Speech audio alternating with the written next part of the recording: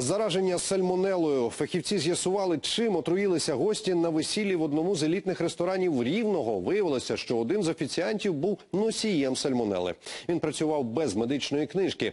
Хвороботворну бактерію знайшли також на посуді та власне у стравах, зокрема у весільному торті. Нагадаю, 8 вересня у Рівному святкувати весілля святкували весілля, е, після якого до лікарні потрапили аж 23 людини. Ще приблизно стільки ж лікувалися самостійно. Досі у медичних закладах перебувають четверо хворих.